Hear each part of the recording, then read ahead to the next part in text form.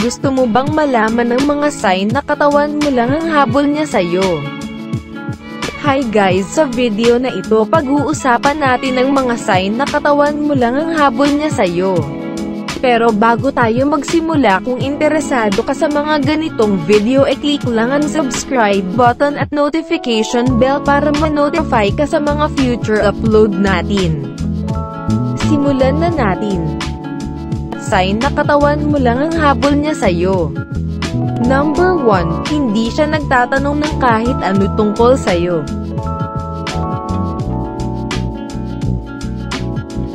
Number 2, may feeling ka na taken na siya.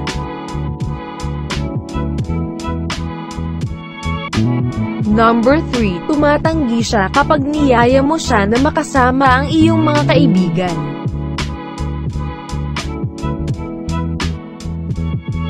Number 4, na-meet mo lang siya sa mga dating sites.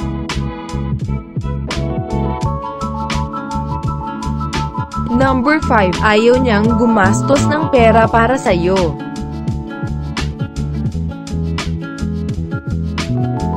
Number 6, tinatawagan ka lang niya pag Number 7, nararamdaman mong pini-pressure kanyang makipag-sex sa kanya.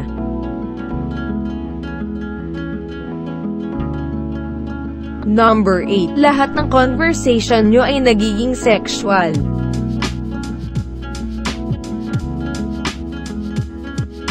Number 9, gusto niya sa bahay niya ang inyong date.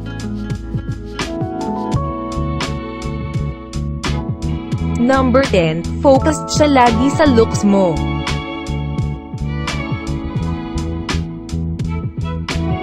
Number 11, hindi mo pa nakikilala ang kanyang mga kaibigan.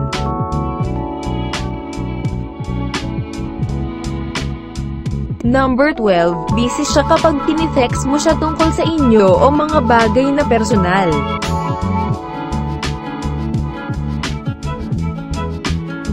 Number 13, pagkatapos ng sex umaalis na lang siya bigla.